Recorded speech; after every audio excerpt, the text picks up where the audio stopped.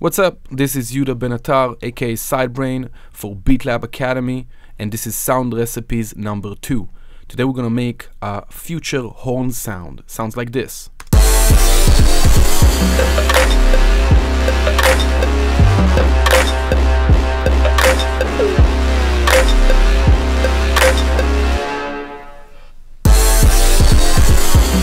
Okay, nice. Let's start a new project. Okay, sweet. Uh, I'm gonna delete uh, those three tracks. We only need one MIDI track. I'm gonna open up the browser. I'm gonna go to packs.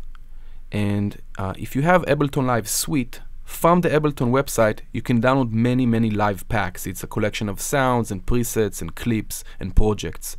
Um, from the Ableton website, there is also the Orchestral Brass, which is an amazing pack, gives you uh, brass instruments mostly for classical music, but we're gonna turn them into something more future, more modern. Um, so I have it right here, orchestral brass. I'm gonna unfold it. Right here we have sounds. Let's unfold that. And here we have a brass ensemble. We have the individual elements of all the brass section divided here, but we want all of them together uh, under the brass ensemble. We see we have different articulations of how the instrument is being played, uh, legato long notes, staccato short notes, and let's just load all of them into one rack using the brass ensemble preset. This is what we got right now. Excellent, already pretty good. Let's um, enhance it. We're gonna use only Ableton's built-in devices or free plugins. So the first one, I'm just gonna boost the volume a tiny bit with a saturator. Let's load a saturator.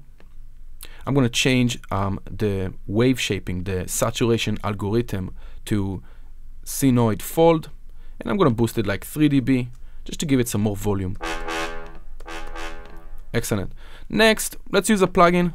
This is a free plugin from Softube. It's called Saturation Knob. Really great to add some brightness or some more grit to your low end. Um, and it saturates in a really nice way. Let's keep the high frequencies. Let's boost a tiny bit.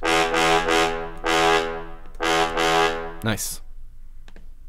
Next, let's use another free plugin. Um, a compressor. It's called Bus Driver from Nomad Factory. All the links to the free plugin is going to be on the blog post. Uh, so check out the description uh, under the video.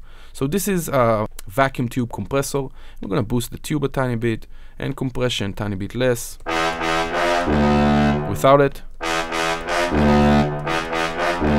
Rounds up the sound a tiny bit. Excellent.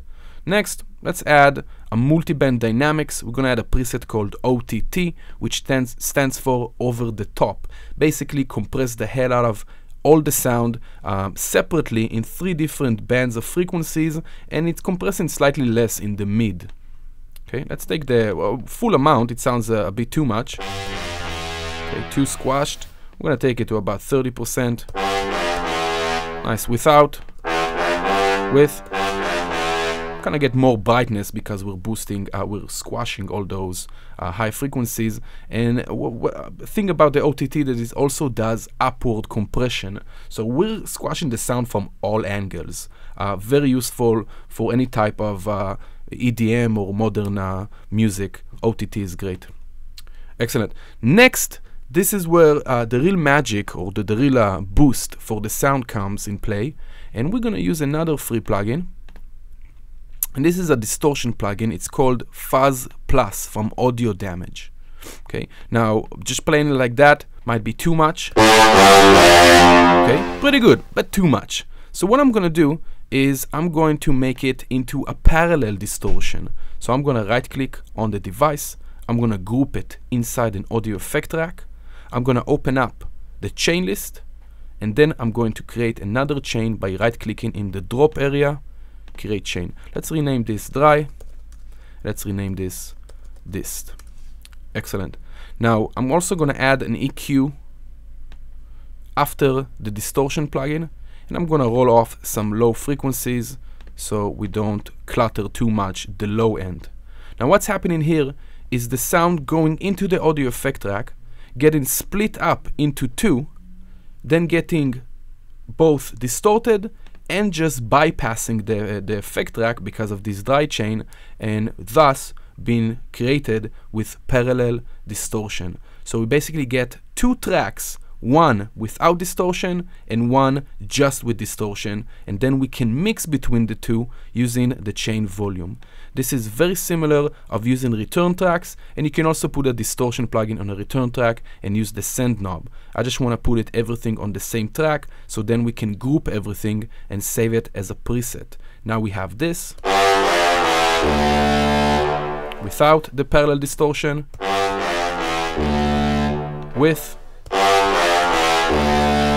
Nice, a lot of energy and power. Um, finally, we can maybe put something else to just limit the audio, just in case we're clipping. Uh, we can use a lot of things for that. Let's use the glue compressor, and I'm gonna turn on the soft clipper, um, which will limit and saturate even more a tiny bit uh, the entire signal. Nice. Now we have a very fat uh, brass that we can use in many styles, especially with uh, trap. So uh, if we listen again to the example, I do want to point out that I did use some pitch bend uh, right here to get that uh, pitch sliding with the, the brass.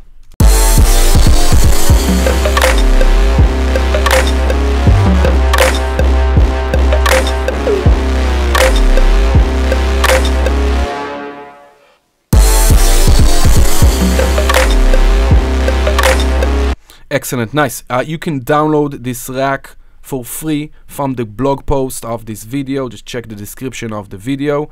Uh, I do want to point out that you do need these plugins, okay? They're all free and we'll post a link to them on the blog post. And that's it, guys.